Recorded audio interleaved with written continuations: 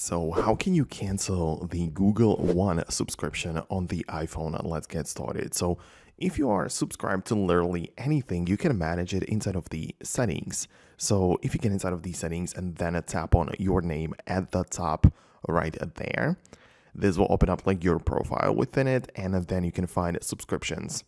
So depending on which things you have in here, you're going to see a list of either active or inactive subscriptions and also some additional information on how long it's still going to be active, when it's the next payment due and stuff like that, right? So if you already have some active subscriptions going on, let's say for the Google One, which we just mentioned, you can tap on it and there is going to be a red button to cancel that subscription.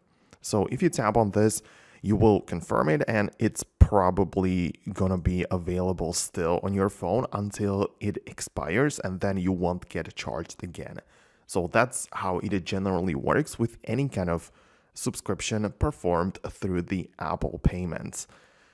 It's also possible that you didn't perform the payment through Apple and therefore you won't be able to find it in here. And if that is the case, you will need to approach it a little bit differently where you just head over to Google and you just try to log in to your Google account and you probably performed the the you know the subscription there. So if you just go through Safari and just type in Google One and everything, then you can sign in and you'll be able to manage your subscription through this like page, right? From official one uh, through Google. So depends on where you started the payment, but this is the, the general blueprint on how it works. So let me know below in the comments if you managed to do it. Thanks a lot for watching. Hit the thumbs up if you liked it, and I'll see you in the future tutorials.